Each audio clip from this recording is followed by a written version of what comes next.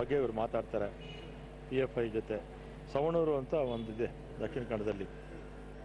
ಇಲ್ಲಿ S D P I B J P ಹೋದ್ಸಲಿ alliance ಮಾಡಿಕೊಂಡು ಪಂಚಾಯತಿನಲ್ಲಿ ಅಧಿಕಾರ ಹಂಚ್ಕೊಂಡಿದ್ರು ಎಸ್ ಡಿ ಪಿ ಐ ಜೊತೆ. ಸವಣೂರಿಗೆ ಶೋಭಾ ಕರಂದ್ಲಾಜೆಯವರ ಗ್ರಾಮ ಇದು.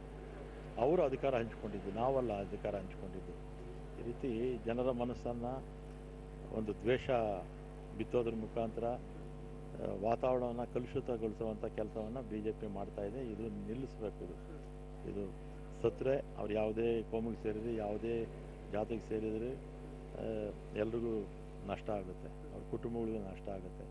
ಅದರಿಂದ ಈ ಗಲಾಟೆಗಳೆಲ್ಲ ಕಡಿಮೆ ಆಗಬೇಕಾದ್ರೆ ಸಾಮರಸ್ಯ ಮೂಡಬೇಕು. ವಿಶೇಷವಾಗಿ ಆ ಜಿಲ್ಲೆಯಲ್ಲಿ ಎಲ್ಲ ಪಕ್ಷಗಳು ಕೂಡ, ಎಲ್ಲ ಸಂಘಟನೆಗಳು ಕೂಡ ದ್ವೇಷಗಳನ್ನು ಮರೆತು ಮನಸ್ಸಲ್ಲಿರ್ತಕ್ಕಂಥ ದ್ವೇಷಗಳನ್ನು ಮರೆತು ಸಾಮರಸ್ಯದ ಕಡೆ ಹೋದರೆ ಇದೆಲ್ಲ ಕೂಡ ಕಡಿಮೆ ಆಗಿದೆ. ಸೊ ದೀಪಕ್ ರಾವ್ ಅವ್ರದ್ದು ಇಪ್ಪತ್ತೊಂದನೇ ಕೊಲೆ ಹಿಂದೂ ಪರ ಕಾರ್ಯಕರ್ತರದ್ದು ಇಪ್ಪತ್ತೊಂದನೇ ಕೊಲೆ ಅನ್ನುವಂತಹ ಆರೋಪ ಕೂಡ ಇರುವಂತಹದ್ದು. ನಾನು ವಿಧಾನಸಭೆ ವಿಧಾನ ಪರಿಷತ್ತಲ್ಲಿ ಒಂದು ಉತ್ತರ ಕೊಟ್ಟೆ. ಅವರು ಅವತ್ತು ಹತ್ತೊಂಬತ್ತು ಅಂತ ಹೇಳಿದರು. ಈಗ ಮೊನ್ನೆ ಸು ಮೆಸ್ತಾ ಮೆಸ್ತಾದು ಇಪ್ಪತ್ತು ಅಂದರು. ಪರೀಶ್ ಮೆಸ್ತಾ ಅವ್ರ ತಂದೆ ಏನು ಹೇಳಿದ್ರು? ನಮ್ಮ ಮಗ ಯಾವ ಪಕ್ಷದ ಕಾರ್ಯಕರ್ತ ಅಲ್ಲ ಅಂದರು. ಇವತ್ತು ಕೂಡ ದೀಪಕ್ ರಾವ್ ಯಾವ ಸಂಘಟನೆಗೆ ಸೇರಿದಾರೋ ಗೊತ್ತಿಲ್ಲ. ಕೊಲೆ ಮಾಡಿದವರು ಕೂಡ ಯಾವ ಸಂಘಟನೆಗೆ ಮಾಡಿದಾರೋ ಗೊತ್ತಿಲ್ಲ. ಇದು ಇವತ್ತು ತನಿಖೆ ಆದಮೇಲೆ ಸ್ಪಷ್ಟವಾಗಿ ಗೊತ್ತಾಗುತ್ತೆ. ಅವರು ಪಿ ಎಫ್ ಐನವ್ರು ಹೊಡೆದ್ರೋ, ಏನೋ ಎತ್ತ ಅಂತ.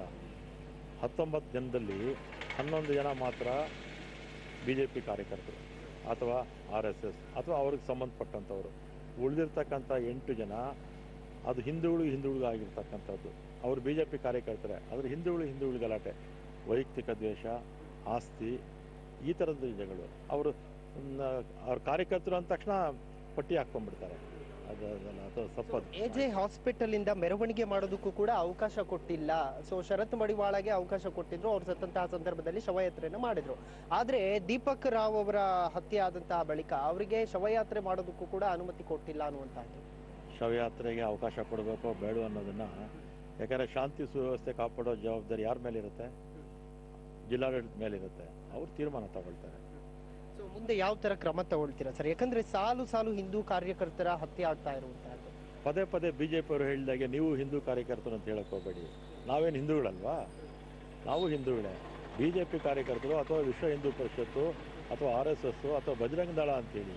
ಹಿಂದೂ ಹಿಂದೂ ಅಂತ ಯಾಕೆ ಹೇಳ್ತೀರಾ? ನಾವೇನು ಹಿಂದೂಗಳಲ್ವಾ? ಅವರು ಬಿ ಜೆ ಪಿಯವರು ಹೇಳಿದಾಗೆ ನೀವು ಹೇಳ್ತೀರಲ್ಲ ಟಿ ವಿನವರು? ಅಲ್ವಾ?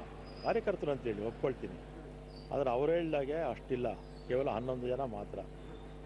ಅದೇ ರೀತಿ ಪಿ ಎಫ್ ಐ ಅವರು ಆರು ಜನ ಕೊಲೆ ಆಗಿದೆ. ಅವ್ರನ್ನ ಕೊಲೆ ಮಾಡಿದಾರೆ ಯಾರು? ಅದಕ್ಕೆ ನಾನು ಹೇಳಿದ್ದು ಸಂಘಟನೆಗಳು ಪಕ್ಷಗಳು ದ್ವೇಷ ಮರೆತು ಸಾಮರಸ್ಯದ ಕಡೆ ಹೆಜ್ಜೆ ಹಾಕಿ ಆ ಗಲಭೆಗಳೆಲ್ಲ ಕಡಿಮೆ ಆಗುತ್ತೆ ಅಂತ ಹೇಳ್ತೀನಿ. ಪಿ ಎಫ್ ಐ ಬ್ಯಾನ್ ಮಾಡ್ತೀರಾ ಹಾಗಾದ್ರೆ? ಕೇಂದ್ರ ಸರ್ಕಾರ ಅವ್ರ ಕೈಯಲ್ಲಿದೆ. ಮಾಡಲಿ ಅವರು ನಾವೇನು ಬೇಡ ಅಂತ ಹೇಳ್ತೀವ? ಕೇಂದ್ರ ಸರ್ಕಾರಕ್ಕೆ ಅಧಿಕಾರ ಇರುತ್ತೆ ಬ್ಯಾನ್ ಮಾಡೋಕ್ಕೆ. ಮಾಡಲಿ ಅವರು.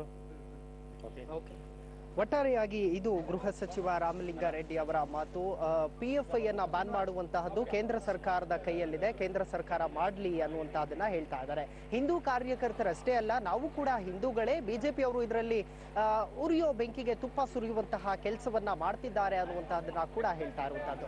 ಅದೇನೇ ಇದ್ರೂ ಕೂಡ ದೀಪಕ್ ರಾವ್ ಹತ್ಯೆ ಯಾವ ರೀತಿಯಾದಂತಹ ತಿರುವನ್ನ ಪಡೆದುಕೊಳ್ಳುತ್ತೆ ಅನ್ನುವಂತಹದನ್ನ ಕಾದು ನೋಡಬೇಕು. ಕ್ಯಾಮ್ರಾ ಪರ್ಸನ್ ಶ್ರೀನಾಥ್ ಜೊತೆ Syed Hidayat metro bureau Raj news thank